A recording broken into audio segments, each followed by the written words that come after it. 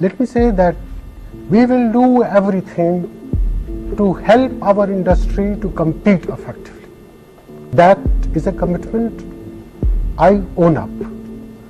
I as Finance Ministry have an obligation to see that Indian industry's hands are strengthened to compete effectively against foreign firms in our country. I think that is a commitment I own.